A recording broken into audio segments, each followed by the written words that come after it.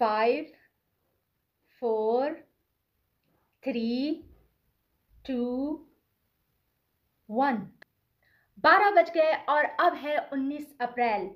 उन्नीस अप्रैल यानी कि आपके और मेरे फेवरेट उमर शरीफ की सालगिरह का दिन।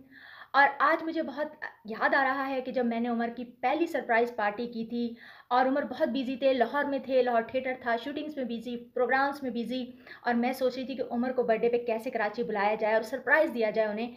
तो मेरा एक भाई है, छोटा था उस टाइम, वो सात साल का था। तो मैंने उमर से रिक्वेस्ट की कि उसके स्कूल में आपको चीफ गेस्ट बनाना चाहते हैं तो क्या आप आ जाएँगे? तो उमर राज़ी हो गया क्योंकि उमर ने उसको बेटा बनाया हुआ था।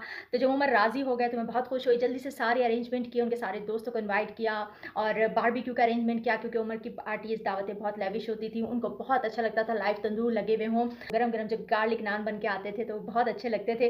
तो सब अरेंजमेंट कर लिया, मगर अट्ठारह अप्रैल को मुझे डर लगने लगा कि उमर इतना बिज़ी है, कहीं मना ही ना कर दे आने को। तो मैंने जल्दी से कराची से फ़्लाइट ली, लाहौर की और मैं वहाँ पहुँच गई और वहाँ से शाम की फ़्लाइट लेके उमर को अपने साथ में जो है कराची आई और फिर उमर से मैंने कहा कि आप अभी थोड़ा रेस्ट कर लें। रात के दस बजे प्रोग्राम स्टार्ट होगा तो जैसे स्टार्ट होगा वो हमें बताएँगे और हम फ़ौरन स्कूल चले जाएँगे। तो उमर बैठ गए बैठे बैठे उनको नींद आ गई, वो सो गए। और फिर मैंने उन्हें, जैसे बारह बजने में एक मिनट था, मैंने उन्हें उठाया कि चले, तैयार हो जाए जल्दी से हमें वहाँ जाना है। उमर उठे, टाइम देखा और उमर कहने लगे, अरे, ये तो बारह बज गए, मैंने कहा हाँ लेट हो गया उनका प्रोग्राम।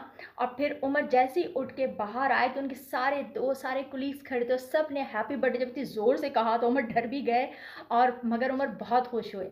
और उसके बाद से फिर हर साल, यानी कि बीस साल तक मैंने उनकी सरप्राइज़ बर्थडे पार्टी की और हमने हमेशा साथ जो है ना बर्थडे उमर शरीफ की सेलिब्रेट की। अभी उमर सोच रहे होंगे अब्दुल्ला शाह गाजी में कि जरीन अब बर्थडे मेरी भूल गई होगी, अब कहाँ वो मेरी बर्थडे मनाएगी? तो ऐसा नहीं है, मैं भूली नहीं हूँ। मैंने सब अरेंजमेंट करके रखा हुआ है, सरप्राइज़ अभी भी रखा हुआ है। वो क्या है? जब आज शाम को जब मैं वहाँ जाऊँगी तो वहाँ पर मैंने कुरान खानी का इंतज़ाम भी किया है और अफ्तारी का अरेंजमेंट भी किया है। केक नहीं काटेंगे क्योंकि केक काटने वाला तो चला गया। मगर कुरान खानी भी करेंगे उनके साले सवाब के लिए और उनकी तरफ़ से सबको अफतारी भी कराई जाएगी। तो आप में से भी कोई आना चाहे तो ज़रूर आए और हमारे साथ अब्दुल्ला शाह गाज़ी पे अफतारी करें और उमर के लिए बहुत सारी दुआएँ करें। अल्लाह पाक उमर की आगे की मंजिलें आसान फरमाए, नबी पाक वसल्लम की कुर्बत नसीब फरमाए, उमर को पंजतन के साथ रहना नसीब फरमाए, अपने नेक अलिया कराम के साथ रहना नसीब फरमाए, आमीन।